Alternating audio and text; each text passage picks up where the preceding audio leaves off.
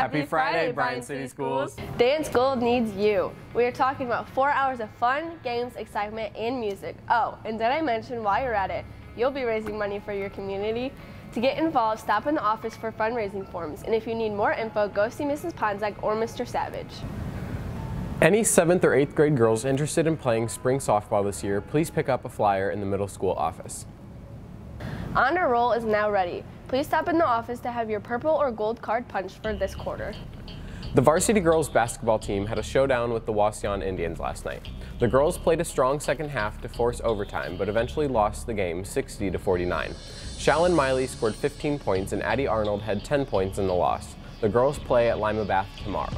The 8th grade Lady Bears took down the LC Tigers last night in dramatic fashion. Ella Rau hit the go-ahead bucket with two and a half seconds left on the clock to seal the 33-32 win. The girls are 12-1 on the season and a perfect 5-0 in the league. Rau and Marlee Yoder each scored 9 points to lead the way. The 7th grade won their game 26-17 to improve to 7-5 on the year.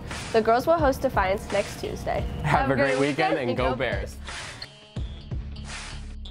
Bears.